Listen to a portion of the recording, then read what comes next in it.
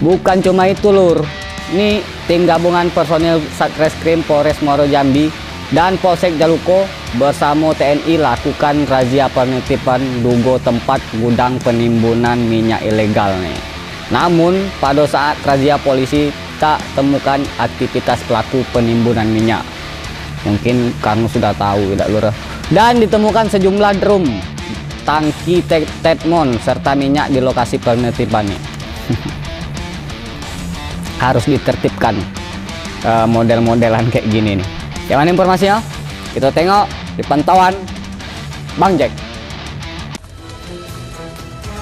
Dua lokasi gudang minyak ilegal dirazia tim personil Satreskrim Polres Muaro Jambi dan Polsek Jaluko bersama dengan anggota TNI. Dari razia tersebut, dua lokasi ini yakni di RT 4 dan RT 10 Kelurahan Muaro Pijoan, Kecamatan Jaluko, tak terlihat adanya aktivitas di lapangan. Dari pantauan tim Jack TV di lokasi, terlihat masih banyak minyak yang ditinggalkan oleh pelaku. Terlihat sejumlah tangki dan tetmon wadah minyak yang sebagian berisi minyak, Selain itu juga ditemukan sejumlah barang baru yang belum dipakai, serta jerigen yang masih berisi diduga sebelumnya aktivitas tersebut berpenghuni, namun pada saat razia sengaja dikosongkan atau nihil aktivitas.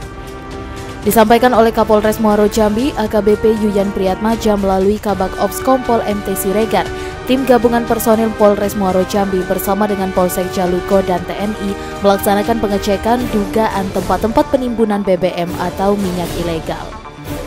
Pada dua lokasi tersebut tidak ada aktivitas namun hanya tersisa tempat penyimpanan BBM ilegal. Hari ini adalah melakukan penertiban atau pengecekan terhadap tempat-tempat yang diduga menjadi tempat penimbunan BBM ilegal sesuai dengan aturan yang berlaku. Ada berapa lokasi yang didatangi? Kita sementara ini laporannya baru dua lokasi.